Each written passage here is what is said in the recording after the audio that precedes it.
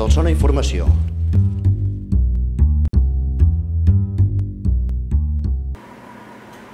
Hola, sigueu benvinguts al recull de cada setmana del, del Solsona Informació. Divendres 23 de novembre de 2018. Solsona 1107. Bé, aquesta setmana una notícia que fa especial il·lusió.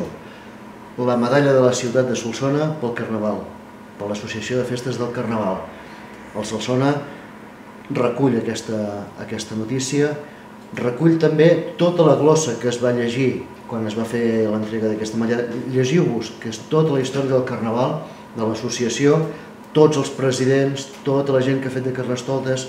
Bé, se'ls sona per guardar i l'enhorabona a l'associació la, pel, pel premi. Més coses.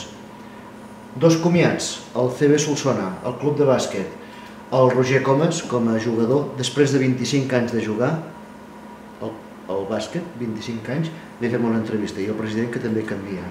I continuem amb les explicacions del tema de, de l'agrupament Escolta i la parròquia que estan entre tots dos que no s'acaben de posar d'acord. Adéu.